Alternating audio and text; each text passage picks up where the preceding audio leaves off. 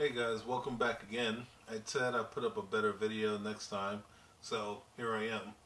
So I'm going to start off with um, these. These are my Sony headphones. I don't know the model number right off the top of my head, but you know, this is what I DJ with. You know, this is what I listen to.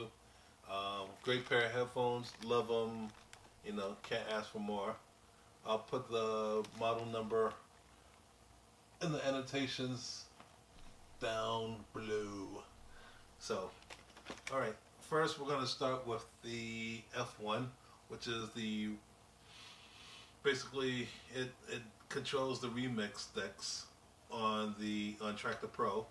Um, you've got four rows of buttons here, um, four down, four across, and they're all loaded with samples. In this case, um, I'll play a couple samples for you. Uh, here we go. Good evening. And Get off that ghetto blaster! and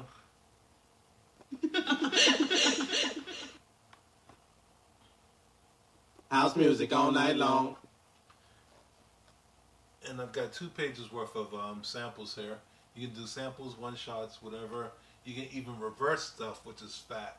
Um, let's see. There's a good one. Um, I'll crush you with my bare hands. and I like this one. One shall stand, one shall fall. So why is it got to be so damn tough? And that's kind of the basics of the um, F1. It controls the remix decks. In the middle here, I have my um, DJ Tech X10 USB mixer, two channel mixer. Um, let's see, uh, yeah, two channel mixer, USB. I've got my F1 and my X1 Mark II connected in the back so I don't have to take up all my ports, my USB ports on my computer. Uh, you got a mic switch here, you got a talk over switch basically. You got an EQ, um, kind of EQ. You got lows, highs, and this is the level for the booth. This is the gain knob for the for channel one. You got your another set of EQs, high, lows, mids, and highs for channel 1. Another set of EQs for channel 2. Low, highs, mids, lows, gain.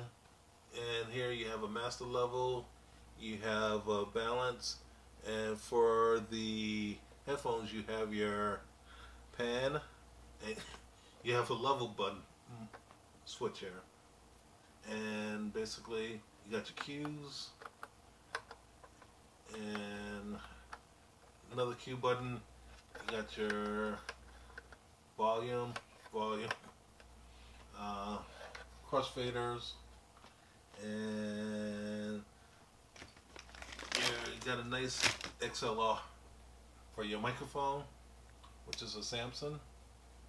And let's see, you got some other features in the front that I'm not gonna really go into. And now I'm to go into the the X1 Mark II. Uh, I'm sure you've probably seen this before, but what the hey. So you've got basically what the X1 Mark II does is it controls two track decks and and Traktor Pro 2. One side is here, one side is there. Got your cue points, whatever. Um, let's see. This is for loops, loading, shift does, you know, it assigns extra features to, you know, buttons. And here you have your your FX for champ for deck A. You've got your your effects for deck B or whatever. You've got your levels for your effects levels for for them for track for deck A. Then you have your levels for track B. I mean deck B.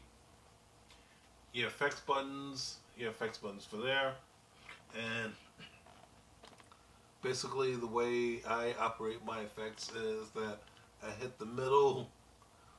I put my finger in the middle here of the deck of the strip. Hit a button. The effect's not on. It's kind of waiting in limbo. So whenever I hit the strip, you see the top light lit up. That means it's on, and that means that the operation. So whenever I lift my finger off, the effect goes off. And basically, that's my my setup. Hope you enjoyed it. Excuse my cold, and uh, peace out.